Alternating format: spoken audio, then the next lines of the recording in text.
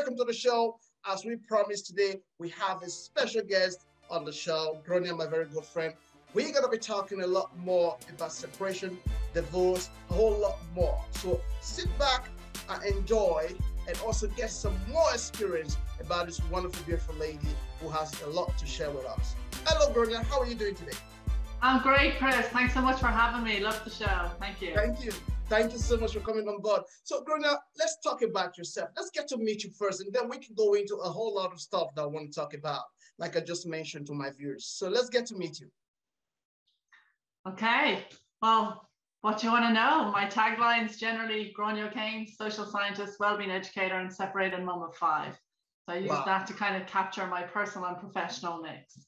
Awesome, awesome, straight to the point, and I like that. So, uh, Gráinne, uh, one of the big issue to, today, uh, when we talk about separation, divorce, it's a very, very strong issue in most homes today, and these are not just only affecting uh, just families as to adults, but children who are experiencing this in this process. So, from your experience as a mother, uh, can you tell us in your own story um, not into more details, but give us some highlight about your own story, and then we can walk into uh, areas of what I've just said. Sure. Uh, I was with my partner for 22 years. We were married for over 14 years. We had five children. They're now um, ranging between the ages of nine and 17 of a daughter and four sons. And I suppose the key question that people ask is like, oh, where did it all go wrong? And it's not any one particular thing it's kind of a, a crumbling over time. And mm. i suppose what i share in my podcast a lot is really for us to be honest around our own self-awareness. So there was a lot that i didn't know my 22 23 year old self when i was coupling and all i could really think about was marriage and children. Like that's i just wanted more than anything to be a parent and luckily, I got to fulfill that, which is fantastic. And I really enjoy being a parent. And I enjoyed being married and I enjoyed relationships. And my children's father is a lovely man and he's a good father, but it was just not the right fit. We weren't growing together. We didn't um, have the same values. We certainly didn't parent from the same paradigm or practice at all. And we had this kind of pattern unhealthy pattern and cycle kind of every two years where he'd be in and out of employment and then he would be unhappy. And there was all sorts of kind of undercurrents in just our general daily living though the surface of things looked great. We had two cars we had a nice home we had holidays twice a year our children looked good and we were very lucky. They're all very healthy and average mm-hmm. people. So everything looks fine, but it's just this veneer and this. I was kind of living this expectation that everybody had of me, and as a mother, you kind of feel like a bit of a martyr anyway. But I was just so empty and lost, and really came to the decision um, one day that I was like uh, nearly like a bolt of lightning that I just I cannot do this anymore for me, for him, for the children. It just wasn't a thriving home. Nothing could grow in it. It nearly becomes like this rotten cancer that just kind of invades and infects your home to the point that if you look back and you'll see other people around you, like if their houses are deteriorating, it really is a bit symbolic of what's happening on the inside as well. And our house was like just beginning to fall apart. I didn't even notice it until we separated and he moved out. I was like, oh my God, I have to fix everything.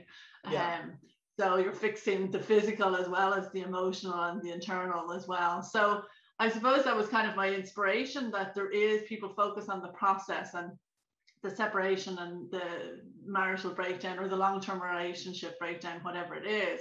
Yeah. Um, and the process that I was going through and his reaction and his process so the stages of grief are like anger, denial, depression, negotiation, and acceptance.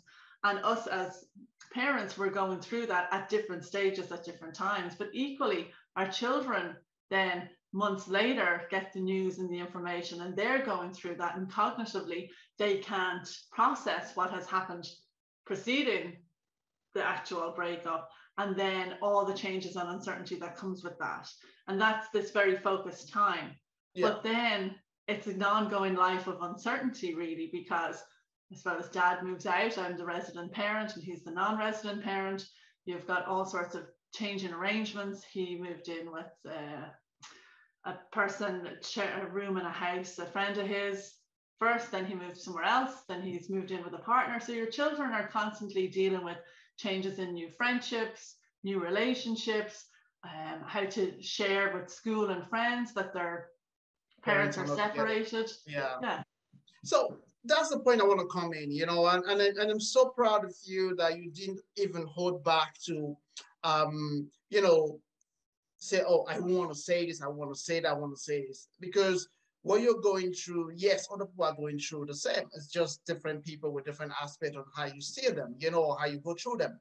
But here is the thing I want to ask you, and it's a general question I've done on my show, is why did, I mean, from the start, you said everything was fine but along the road, things get to change, you know, which is normal. Yeah. But because kids are involved in this process, it's not, is there not a way that parents could really look into the area of the kids? Because you are adults, or we are all adults, because uh, I have to include myself into it.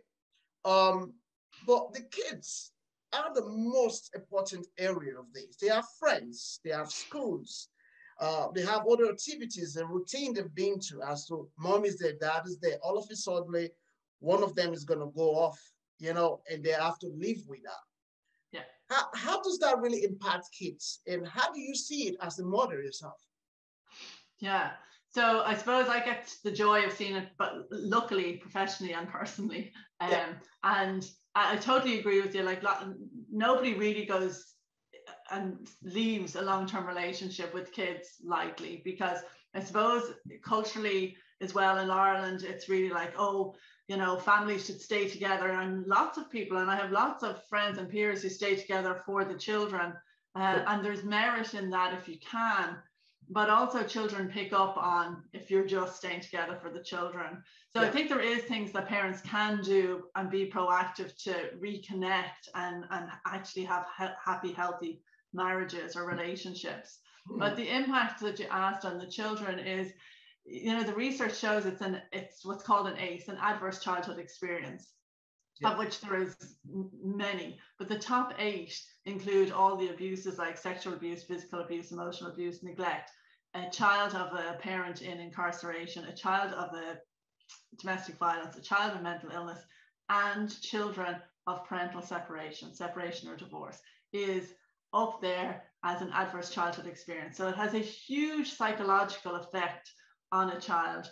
Um, and I think it, the great example that I'll, I'll, draw upon, Chris, I was watching your show with Donna and she talked about how her experience as a seven year old child, I know she was talking about sexual abuse, but she talks about how a seven year old child cannot understand what has happened to them and, and why and, and what they did for it to happen. So mm. it's really the same cognitively for children of parental separation because they're completely myopic. So they're always going to interpret everything as uh, what did I do wrong? What how is this my fault? How can I fix it? They become parentified because they're trying to keep both parents happy. They feel sometimes that their parents' happiness then is all their responsibility. They're of greater risk then of like substance misuse, promiscuity, lower educational performance because their focus has been altered or yeah. disturbances. So yeah, and financially uh, less would go to third level because there's financial strain as well. Yeah, because the reason I'm still more on the kids side because at the end of the day, I feel like adults can they, can manage them themselves, and before they have kids, um, they've been very good. It's just when kids came in, things start to change. And I just feel like it's more heavier on the kids. And also 99.9% uh, is always the mothers who always have the kids. Mm-hmm. Uh, the father are not going to be there. Maybe they will come in maybe twice or once or three times a month, depends on how it's been arranged. Uh, you as the mother, um, do you not feel like there's a whole lot of more load on you on one side, yes, you have the freedom because you're not with him anymore. But on the other hand, you have a lot of responsibility knowing when the child is sick and the school activities, clothes, food, all of these things. Do you not consider that as a way, way body on you? That is the million dollar question, Chris, because that I think is uh, on the pulse. That's what irate everybody, and there's huge resentment as a result of it. So you have the resident parent and the non resident parent. So in my case, I'm the resident parent. Their father um, from a maintenance point of view and a child custody point of view. So he will have them every second weekend and every Tuesday for two hours a week. And that's kind of fairly bog standard judicial separation stuff. Yeah. Um, and maintenance then is done according to the father, we'll say in this case, um, excess income, right? So he, the courts will take into account what he needs to provide for himself Mm-hmm. And if there's disposable income there, then a percentage of that can be awarded as child maintenance. Yeah. So that means you can get 20 euro a week, or you could get 10 like a thousand a week, or whatever. It just depends.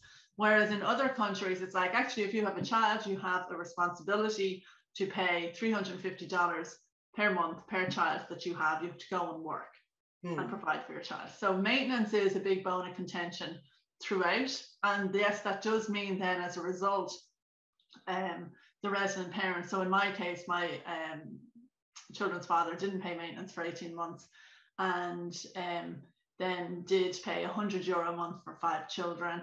And really, I have to bring them to court to kind of go through family court to get them to pay uh, maintenance. Now, he does provide 50% of education and healthcare, but it's a real bone of contention because you've two things. One is, as you said, you've the 24 7 responsibility, all exactly. the runs to and from school, all the training, the feed, yeah. the fuss, the, the, the pure, the tantrums, it's all targeted at you. You're the one dealing with the transition from visiting dad or new relationships. And that's all targeted at you because you're the resident parent. So you have that strain all the time.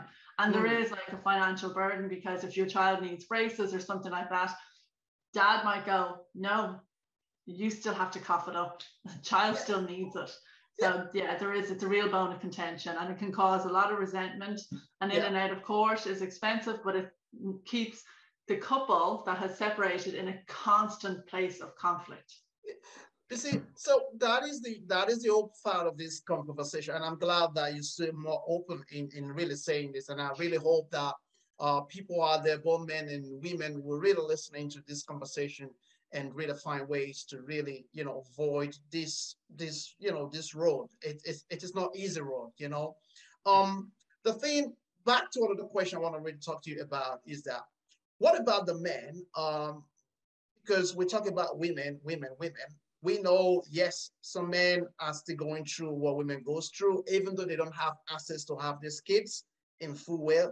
Either they've been abused, you know, or different areas, um, what about men who are going through divorce process against women? When women know that, okay, um, you know, I have more leverage than that this man. I want to punish him. I don't want to be with him or whichever way. Yeah. How do we put men in this kind of, you know, box? Yeah. I think it's it's a huge area, Chris, and I'm delighted you brought it up because there's two things that I think people need to be very aware of. Like one, men don't want to leave their children. Like there's this assumption that oh men have it great and they get to you know just have their kids every second weekend and it's easy peasy. It's very sad for them. They mm. are hmm. missing out and their children. It's, many of them are homeless. Many of them like you know when they're leaving the family home, like where do they go? So mm. um and it impacts their employment as well. So there is a lot of logistics and it's a huge adjustment for them and a huge identity change.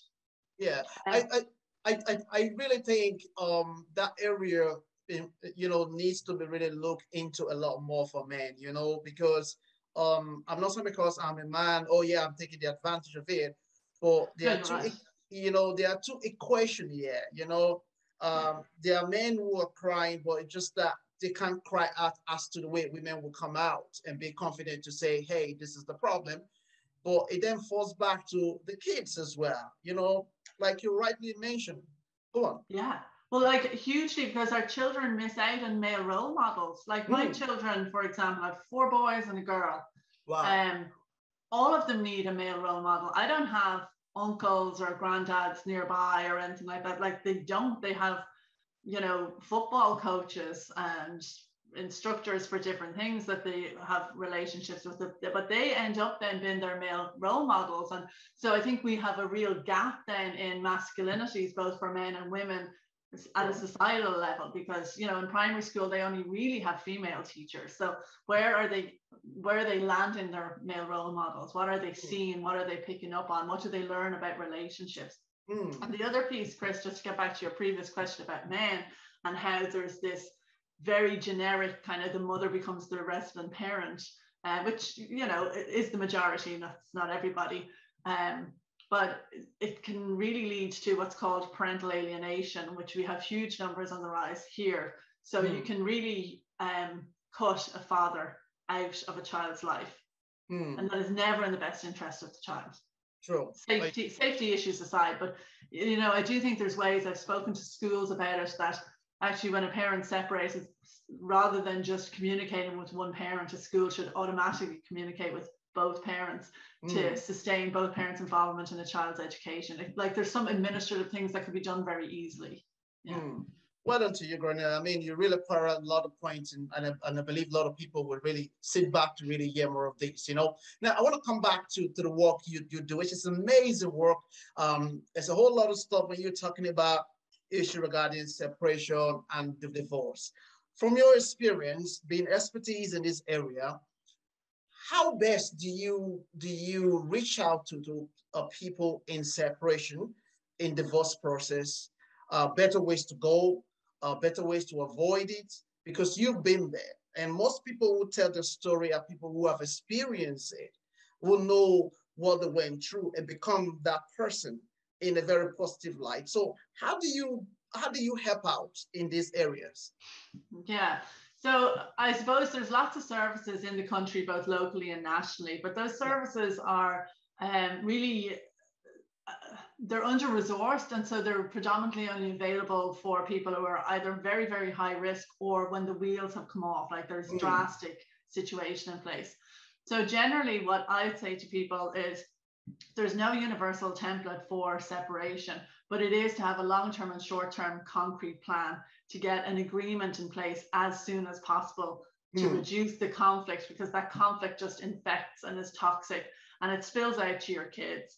Um, mm. Have a parenting plan, like know your parenting values. So if you, I would always say to parents, do you want to be at your child's graduation or the birth of their child or whatever it is? Because right now you're fighting over like nonsense kind of stuff the ultimate aim is to have a connection and a quality relationship with your child. You're always going to be parents. You mm-hmm. may think you're going to baffle them. They have to be here at this time and here at that time. But the child's going to become an adult and is going to want both their parents at their birthdays or whatever it is. Yeah. Um, and the, the parent has to try and push. So at an emotional level, you'd be trying to help somebody to go, how can you both be right? You have to accept that that other parent is different than you. True. That's why you separated. True. So everybody says like, oh, that their ex is a narcissist. And there's a, like six percent of the population have a narcissistic personality disorder. But mm. really, most people, when they're separating, we're all narcissistic and show mm. traits of narcissism. That doesn't mean that they're yeah. a narcissist. You're at your absolute worst. Yeah. But you have to allow that that person is ultimately the parent of your children and you mm. need to see the best in them. So I would always encourage people to go, what good qualities, what good things do they do that you can talk positively to your children about? So, for example, my ex husband is like a huge sports fanatic. He loves football, he's wow. a die-hard Man United fan. It wasn't great for the marriage, but from a parenting point of view, I can step into that and go, oh my god you should definitely ask your dad about that. He'll and he'll be at every game. You know he, he's 200% committed when football's involved. So you should embrace that as a strength. Yeah.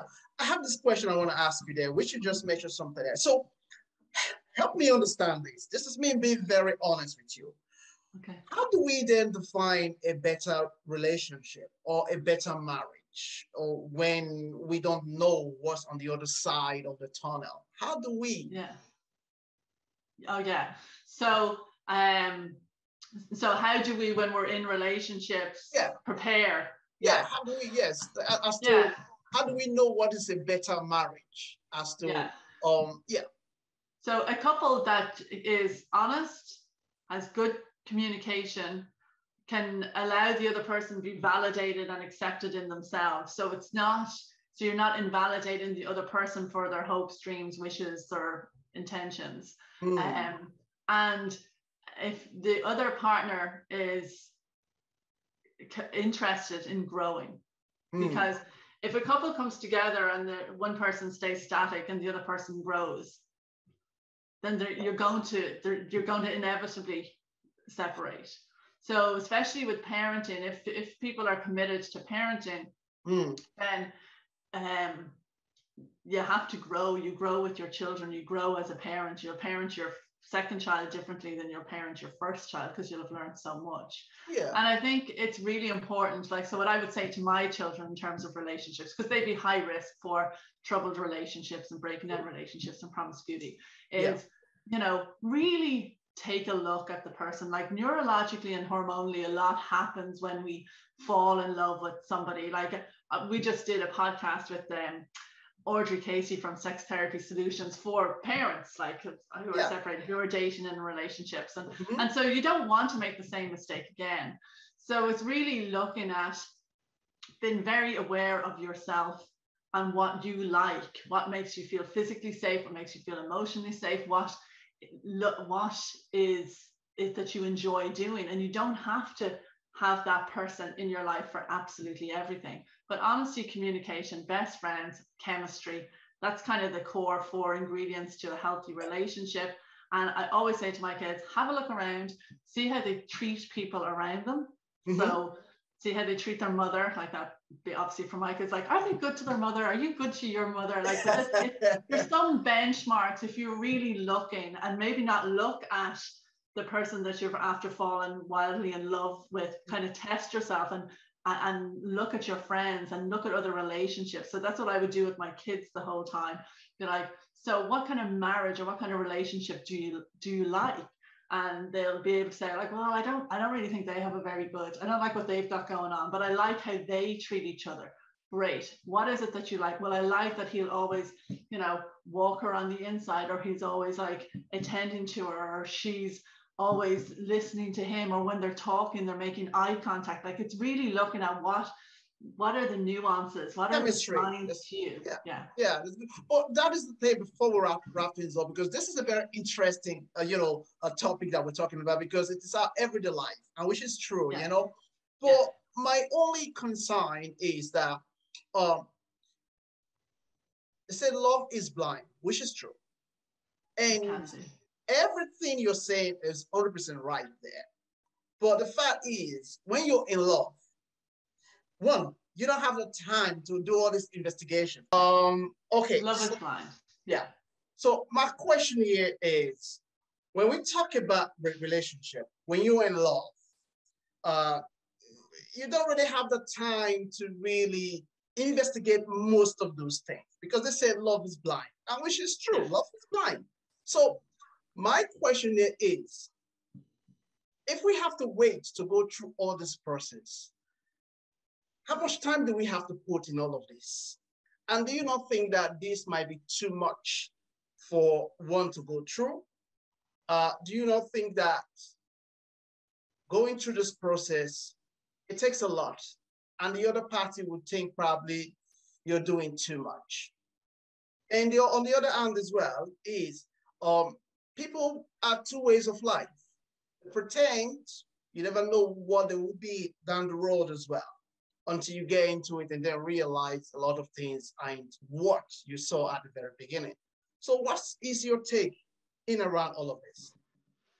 Yeah, no, love is blind. I mean, chemically, you know, when you're, you know, fancy somebody or you're getting to know somebody and it's exciting and you've oxytocin and endorphins kicking off and that yeah. is that is the love hormones and so and you become addicted to that. And at the other end you'll see when relationships break up even early on that heartbreak it is a bit like withdrawal from cocaine or addiction. You know mm. it's the same kind of processes that happen. So yeah so people have to mind their hearts a bit for sure. Um, and there isn't the time for the investigation. But the reality is that initial, like it's commonly known as the honeymoon period, because mm. you know that that part of the brain has shut down because love is blind. But you can tune into it. So I kind of talk about you've got the emotional system and the reflective system. Mm-hmm. And the reflective system is when you're like writing a shopping list or planning your work for the show. Like that's what's kicked in.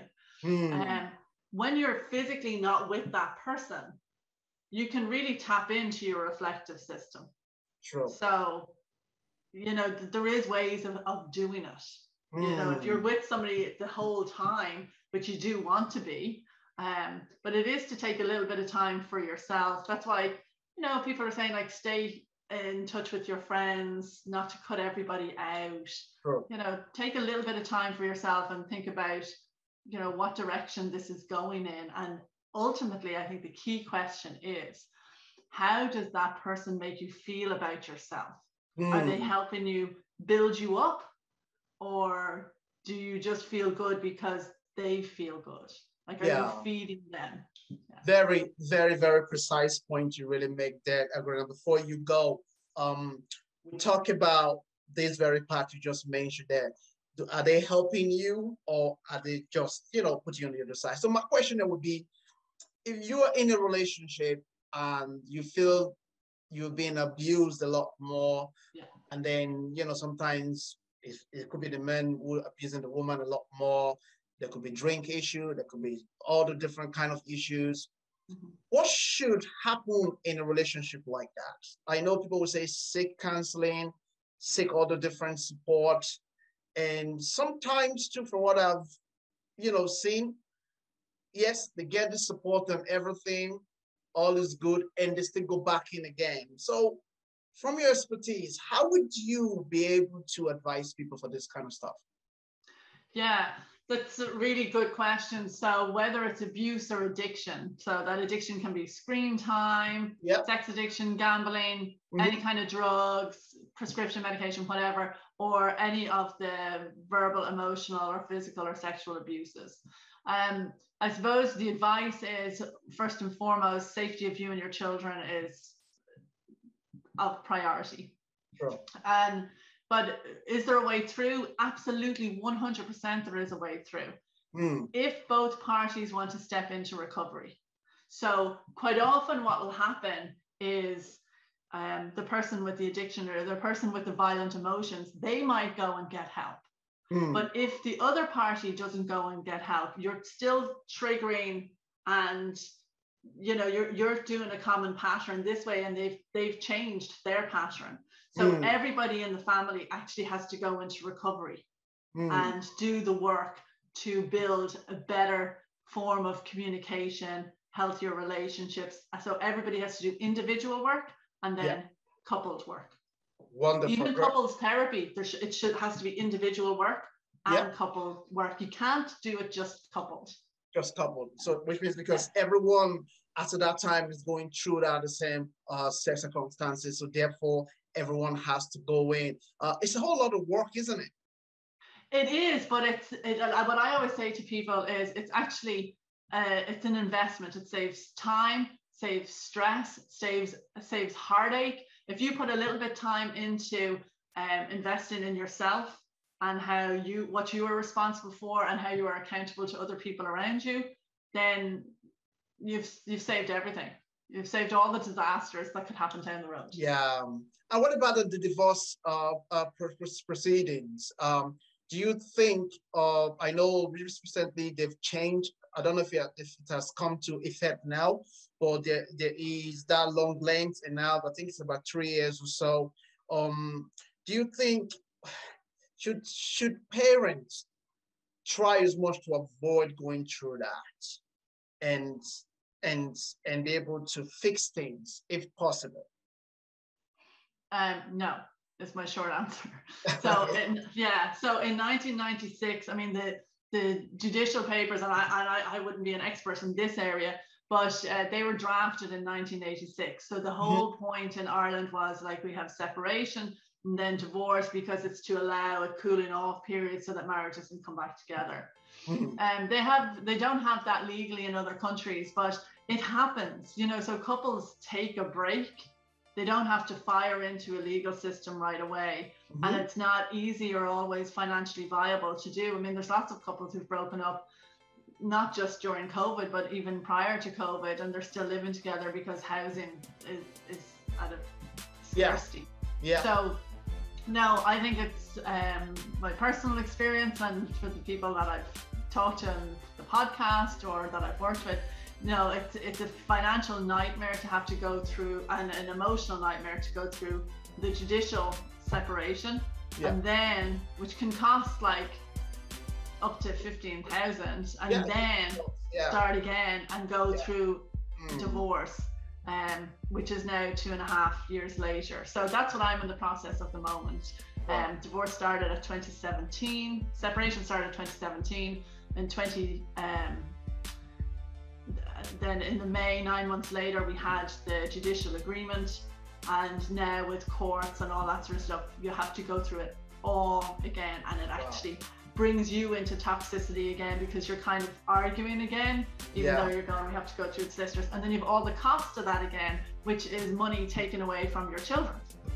It's a whole lot. Yeah, it is yeah. a lot. Yeah, it's wonderful. Yeah. Gráinne, before you go, you have your own podcast. What's the name of your podcast and what day of the week or how do you run, run it?